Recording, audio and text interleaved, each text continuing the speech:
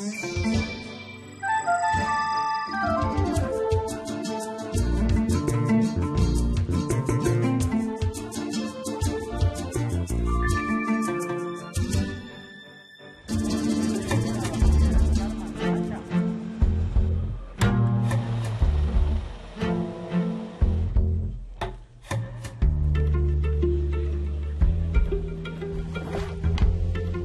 Según la Unidad de Víctimas de Colombia, entre 1985 y 2021, el conflicto armado afectó en este país a más de dos millones de niños a través del desplazamiento, el secuestro, el reclutamiento, el abuso y la violencia sexual.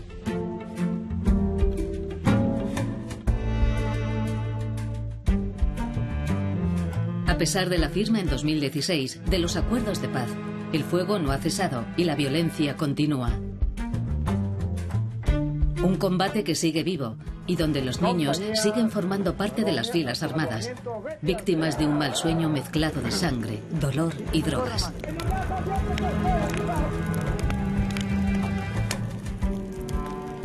Son chicos o chicas que en algún momento de su infancia mm, alguien les vendió la idea de que las armas son algo eh, novedoso y que, les, y que les puede dar la posibilidad de tener eh, un estatus dentro de alguna microsociedad y eh, les vendieron la idea de que allí estando el grupo en el grupo armado eh, van a luchar por los derechos del pueblo.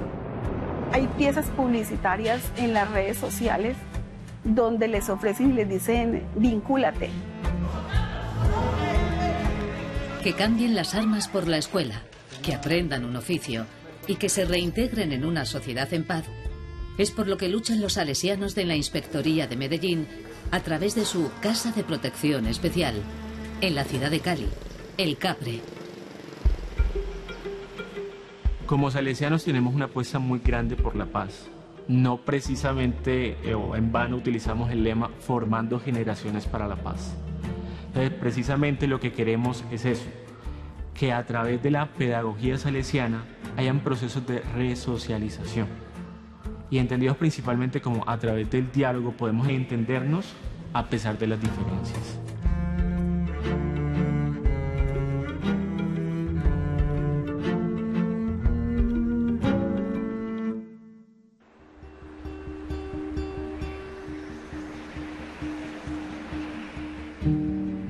En Colombia solo quedan dos programas oficiales que trabajan con menores desvinculados de grupos armados.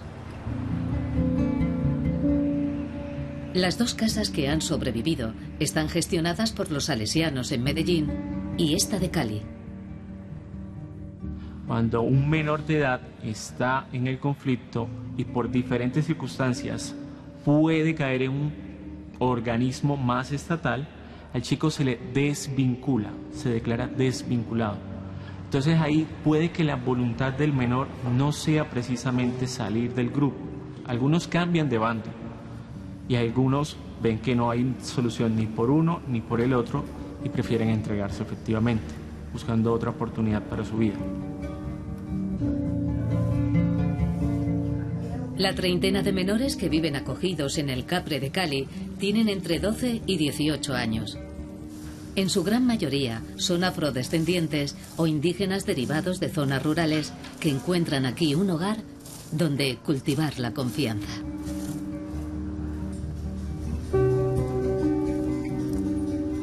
En una casa se acoge a las personas, se aceptan como son, no se empiezan a juzgar. Luego viene la pedagogía de la esperanza, y es donde se ofrecen muchas oportunidades, caminos que el chico puede optar con la esperanza de que opte por uno de ellos cambie el estilo de vida que tenía en ese pasado y haga un proceso de conversión, de estructuración de su vida.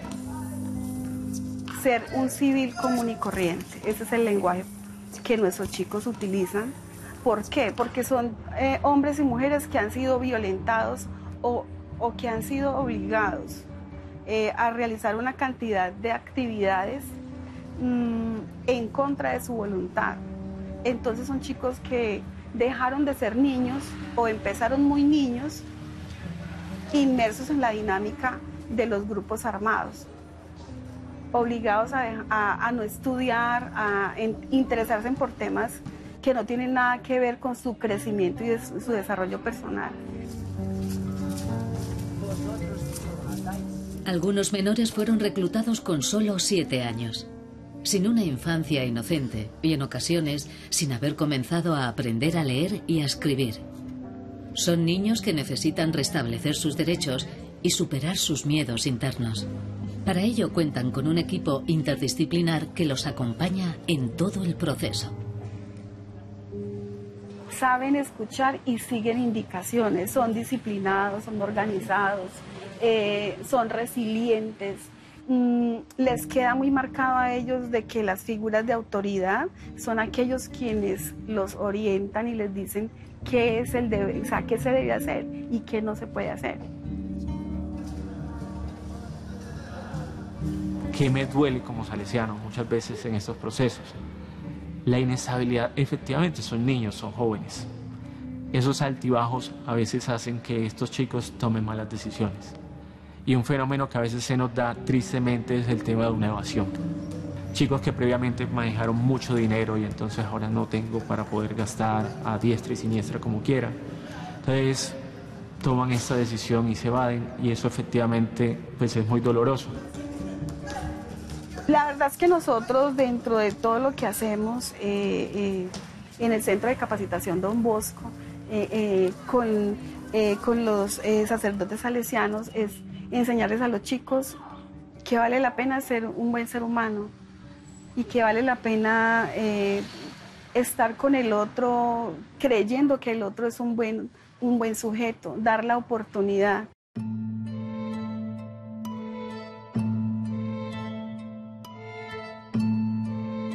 Edna es una aliada de la Casa de Protección Especial de Cali, que acompaña el proceso de los adolescentes y jóvenes víctimas del conflicto armado a través del proyecto de Arte UMA, en colaboración con los salesianos. Cada uno y cada una va a tomar la, que Desde el 2019 estamos generando procesos con los chicos y las chicas eh, que están en su proceso de reincorporación social, precisamente, eh, que han sido víctimas de alguna forma de reclutamiento infantil. Aquí les brindamos acompañamiento eh, desde lo artístico, pero también desde lo deportivo cómo acompañamos a estos chicos a tramitar sus dolores, cómo ayudamos a estos chicos a, empezar a relacionarse con las otras personas de una manera diferente, con lo que los rodea, pero sobre todo empezar a conocerse a sí mismos. Desde el arte, desde el deporte, poder tomar decisiones, relacionarse de otra forma, les permite también encontrarse. ¿Para qué soy bueno? ¿Para qué soy buena? ¿Qué dificultad tengo? Pero ¿cómo la tramito diferente? Ya no entro en crisis, no, ah, hay una dificultad, pero puedo tramitarla de otra manera. Para dar sin pedir nada a cambio. Dios me da la fuerza para vencer las dificultades. Total, total. Cada vez que llega una situación me pregunto, ¿qué estoy aprendiendo aquí? Es difícil, pero reconocer el aprendizaje en cada situación de la vida. ¿Listo? O sea que sí, sí aplica. Muchas gracias. ¿Quién más? Hago buenas acciones con naturalidad sin esperar reconocimiento. Me cuento un poquito para con lo que Algunos de los chicos en el proceso deportivo actualmente eh, ya han avanzado desde la práctica, desde la técnica y vamos a tener la primera oportunidad para participar en un torneo. Ya un chico que tiene la posibilidad de participar en un torneo, en un certamen deportivo, se piensa la vida diferente y muy posiblemente el deporte sea su nuevo proyecto de vida. Y es un chico menos en la guerra del conflicto armado de Colombia.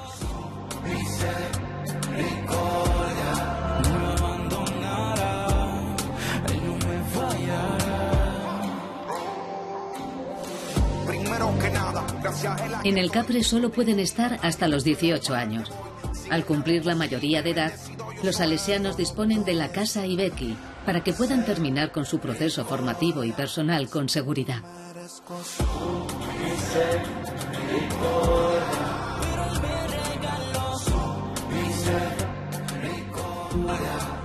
¿Qué pasa cuando un chico cumple la mayoría de edad? Hay un cambio en el término, desvinculado, desmovilizado, Y para ello existe también la Agencia de Reintegración y Normalización llamada ARN y que hace un proceso de egreso también a la sociedad.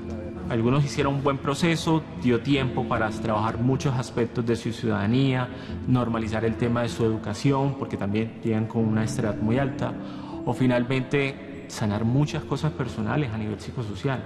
Esta casa es la que denominamos Casa Ibeki.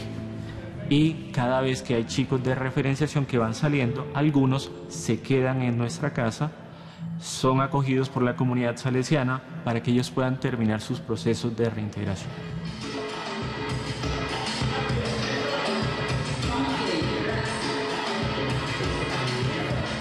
Estoy aquí por lo que yo pertenecí al grupo armado. Eh, fui víctima del conflicto armado y eh, hice un proceso estando en casa de protección. Al cometer el primer delito, que, que fue por matar a una, una persona, lo otro ya fue como más, como más de sentimental, no sé, parte familiar. Al alejarme de mi familia, no sé, hubo momentos de que me hacía falta. Sobre los valores también, muchas cosas he aprendido estando acá en el Capra. El Elkin de antes era un poco más rebelde eh, no amigable, la verdad. y pues este proceso me ha ayudado mucho a, hacer ese tipo de cambio, a tratar de socializar más con las personas que, que me rodean.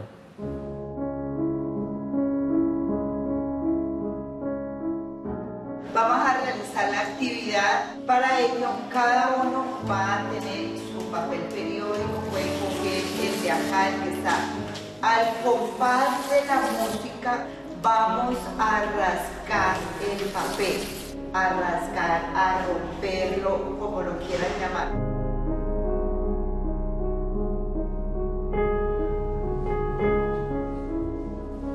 Muchos de los que eran menores en el conflicto armado Ahora son hombres y mujeres reconstruidos que cargan con una mochila llena de cicatrices invisibles.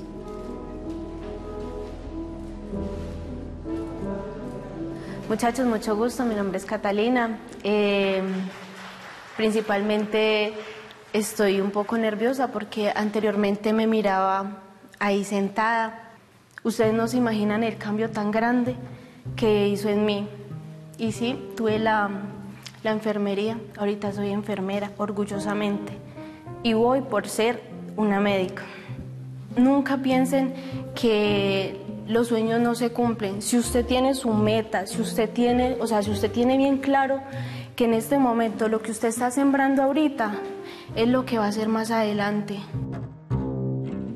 Ojalá que cada palabra que les esté diciendo les llegara y se entendieran muy bien en eso.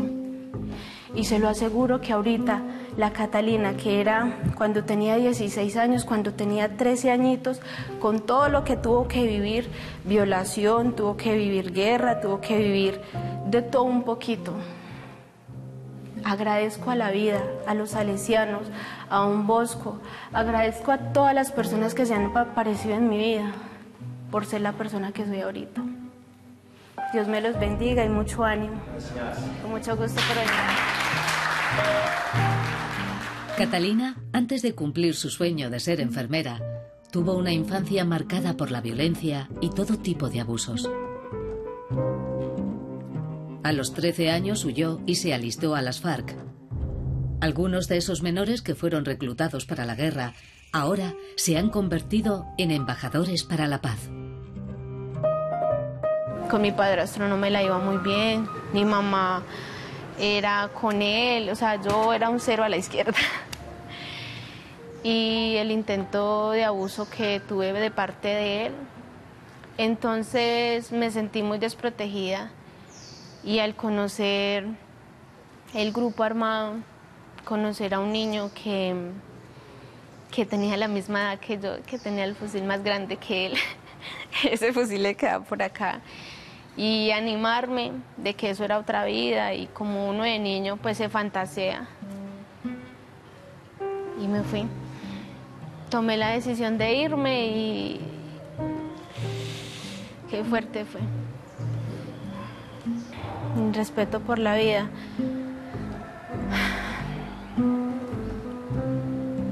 Vaya decidían su vida. Estuve en muchos combates, en guerras, muertes.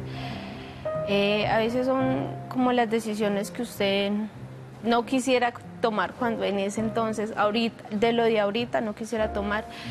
Entonces vives mucha violencia, mucho, pues, diría maltrato físico porque así es que te entrenan y muchas muertes que es lo que se ve allá de parte del ejército y de parte de una guerrilla.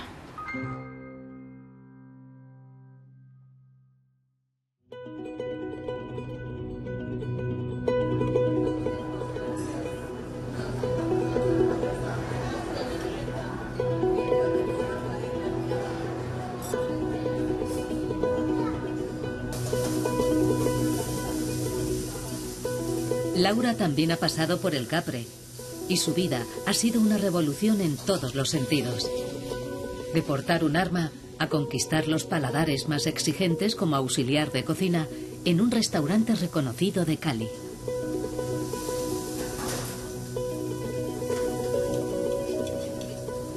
En mi casa pues mi padrastro abusaba mucho de mí y no tenía como más salida por mucho que le dijera a mi mamá y le pusiera quejas, nunca me escuchaba porque en la casa siempre era los hombres tienen la razón, entonces usted se calla, usted no puede decir nada, usted no puede hablar, entonces pues me toca aguantar y pues una noche lo puñalé y salí de la casa, salí desnuda porque me tenía desnuda y terminé en el grupo armado.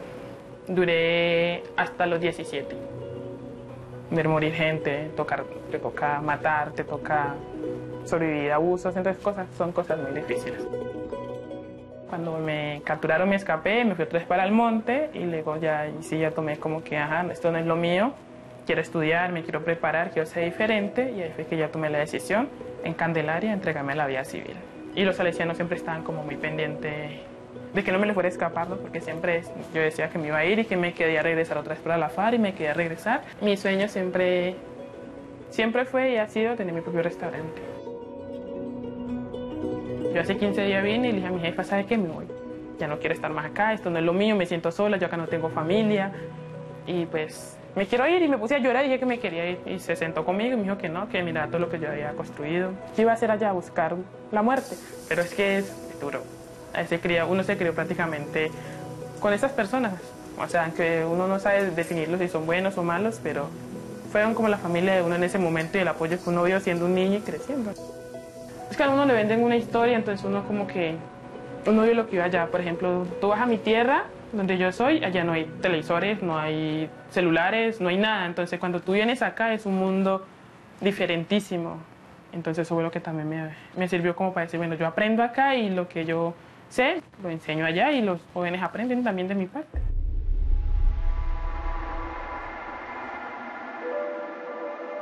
La segunda etapa más dura de mi vida fue con mi mejor amigo. Yo tenía como ocho años. Em, pues no, yo, él hizo algo malo. Yo tenía ocho y él tenía como unos 10, 11 añitos y era mi mejor amigo del, pueblito donde estamos nosotros. Y me llevaron y me dijeron, ven, ahí te toca entrenamiento, te vamos a entrenar, eh, tenéis que vestirte y vamos. Yo normal, yo estaba contenta, llegué, me vestí, me arreglé, me dijeron, trae la pistola y listo. Y, ay, traes una pañoleta, siempre cargo esta pañoleta que tengo en el pelo, siempre la cargo, siempre me ha gustado la que me amarró el cabello, siempre. Me dijo, tráela, y yo, bueno, la llevé.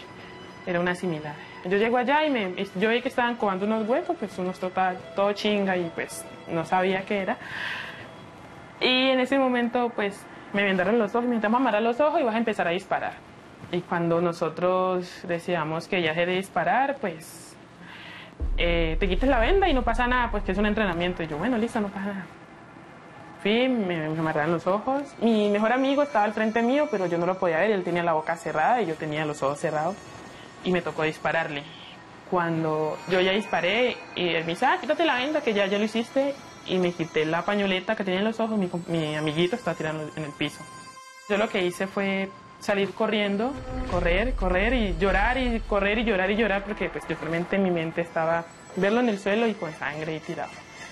Mira que yo pienso mucho en él y aunque la gente no crea en los fantasmas, yo sigo que los fantasmas existen. Porque varias veces he tenido ocasiones raras con él, como cuando pienso en cosas malas, porque por ejemplo, cuando yo apenas salía de un bosco, yo estaba trabajando en, el Platillos, pero en el, otro, en el norte. En ese tiempo estaban necesitando gente acá para que trabajaran de catilleros, o sea, asesinos, que asesinaban personas. Y pues yo acá no tengo familia y ese momentico, como uno solamente tiene la mente en plata y matar. O sea, no hay como algo importante en tu mente. Ese día me acosté a dormir y me soñé con él. O sea, me soñé con él de una forma bonita, como que yo no sé si estaba dormido o estaba despierta, no sé cómo explicarlo, pero sí sé que tenía los ojos abiertos y yo lo miraba y me decía él que no lo hiciera, que no, que eso no era mi vida, que, hiciera cosas diferentes, que yo tenía mucho talento, que yo era muy buena para la banistería, como para cosas y me hablaba y me hablaba y yo me desperté y no fui. Y siempre va a estar en mi mente, siempre toda la vida.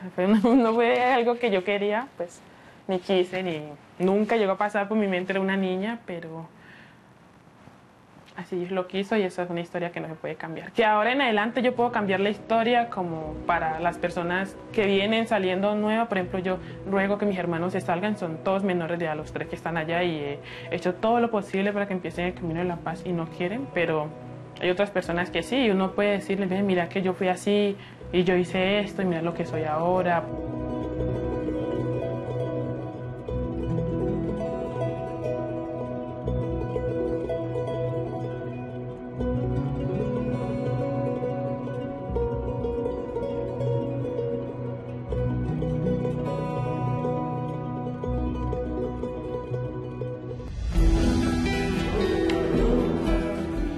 Salesianos de Cali siguen forjando nuevos corazones al estilo de Don Bosco, formando generaciones para la paz, camaradas de esperanza que dialogan entre sí con el perdón como escudo y bandera que desarme.